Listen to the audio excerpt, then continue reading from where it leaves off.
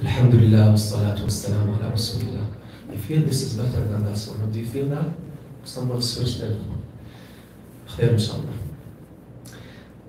In these blessed ayat we are reading, subhanAllah, so many lessons. But when I, I was reviewing, uh, one idea came to my mind that I would like to remind myself and you, inshallah, of. Sayyidina Musa alayhi salam, he left the city. Allah tells us subhanahu wa ta'ala, فخرج منها خائفا يترقب. He left after he pushed that uh, Egyptian, he pushed him and that person died by mistake, right? فوكزه موسى Sayyidina Musa alayhi salam, he just poked him. He didn't like punch him or he just poked him and he died. فقضى عليه. فوكزه موسى فقضى عليه. The prophets alayhi salatu wasalam, they, they're strong.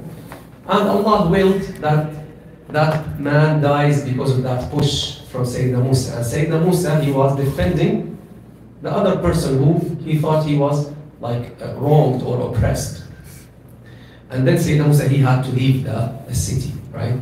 But Allah tells us, فَخَرَجَ مِنْهَا خَائِفًا يَتَرَقَّبُ He left it while he's afraid and he was like watchful. يَتَرَقَّبُ قَالَ رَبِّ نَجِّنِي مِنَ الْقَوْمِ الظَّالِمِينَ He said, so he left, means he took precautions, he did what he has to do, he ran away, and he was watchful, and what did he do else? He made dua. قال ربي نجني من القوم الظالمين. Oh Allah, protect me from the unjust ones. The ayah right after that. ولما توجه تلقاء مدين قال ماذا قال؟ عسى ربي أن يهديني سواء السبيل. Same thing. Now after he left the city, where did he go? There must have been like a type of plan or direction. So Allah is telling us subhanahu wa ta'ala, وَلَمَّا تَوَجَّهَ تِلْقَاءَ مَدْيَنَ He went or directed himself towards where? Madian. The city of Sayyidina Shu'aib, right? So he directed himself towards Sayyidina Madian's city or town. قال again دعاء قال عسى ربي أن يهديني سواء السبيل He said, my, may, may my Lord guide me to the right to the right path. And we notice, subhanallah, subhanallah, with every like movement from Sayyidina Musa alayhi salam, first time I noticed this that dua, dua, dua. When he helped the two girls, he went to the shade, فقال ربي إني لما أنزلت إلي من خير فقير. In every movement you see, he's doing something. He's doing something and making dua. And go read those ayat and you will notice that that special thing that I noticed subhanAllah today that I didn't pay attention to before. And the, the, the lesson is very clear, brothers and sisters. اعقل وتوكل. And also in those ayat we have what? فتوكل على الله. Depend on Allah. Put your trust in Allah. إنك على الحق المبين. Surely you are on the manifest truth. Right? As that, that person came to the Prophet ﷺ and he, said- he told him, Ya Rasulullah, shall I keep my camel and put my trust in Allah, keep it untied outside and put my trust in Allah? What did he say? His words sallallahu alaihi wasallam became like a proverb. Huh? Became like a proverb in Arabic we say, اعقل wa tawakkal. Tie it and put your trust in Allah.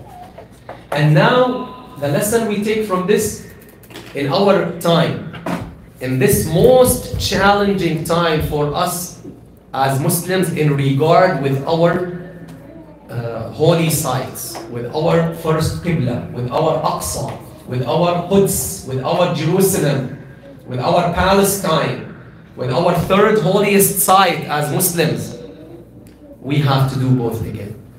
It doesn't make any sense that a Muslim says, okay, just let's make dua. Just, just make dua, brother, just make dua. That is ridiculous. That is absolutely ridiculous. And it is a transgression in dua. It's a transgression in dua. For example, if you have an exam and you tell your child, okay, my son, just make dua, my son, make dua. So, this, is this what you're going to tell him? You never tell him this, right? You're going to tell him to study and make dua. And if we Muslims want this massacre and this genocide to stop, subhanAllah, something horrible. I cannot believe how this hypocrite world, especially the US, how they're behaving this way. How they are cutting the aid of the, the United Nations organizations that are supplying aid to the Palestinians just because the Zionists, they made a lie.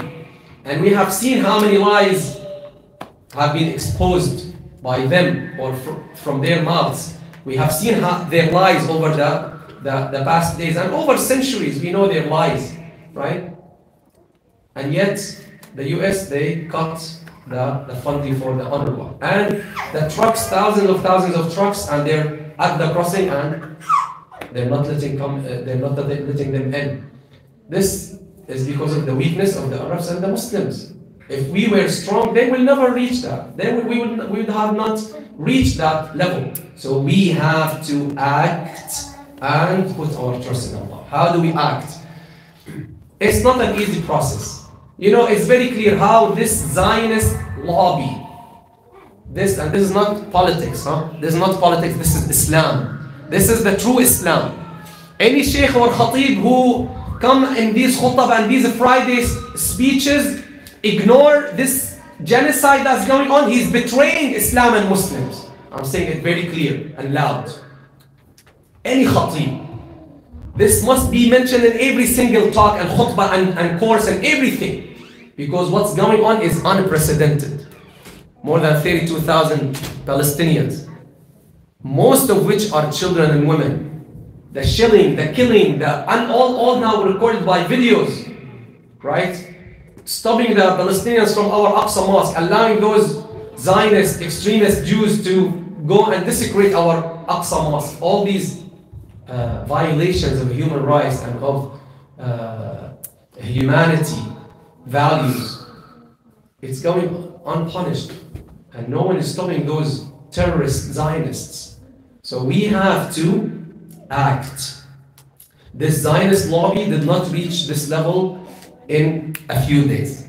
They had planned, they worked, they had uh, uh, strength, they have power, they have money, and that's why you see those Congress people, they're, they're, they're not daring to, to say no to the demands of the Zionists. Right? They're, they're, they're not daring. Only 22 Congress people. How many Congress people are there? 400 total? Uh, uh almost 400, right? Only 22 who were courageous enough to, to oppose this uh, uh, resolution in which they fund the Zionists with more money, like $4 billion, and they cut the funding for the United Nations Organization of the Palestinian Refugees, the, the UNRWA. So uh, we have to act, brothers and sisters. Practical steps. We have a, a, a paper that has a QR code on the board there for the registration to vote. It is mandatory, I'm telling you, as a Muslim, it's mandatory on you to vote. You have to vote as a Muslim we Muslims have to vote and we have to act and we have to protest and we have to participate in every legal possible ways to defend our rights and the rights of our brothers and sisters. That's the summary. Along with this, before this and with this and after this, our dependence and reliance is on Allah Ta'ala. We make dua. That is the nice, good dua that, that will be accepted inshallah. But to just sit and make dua, that's a transgression of dua. May Allah subhanahu wa ta'ala make us of those who listen to the speech and follow its steps. Sallallahu alayhi.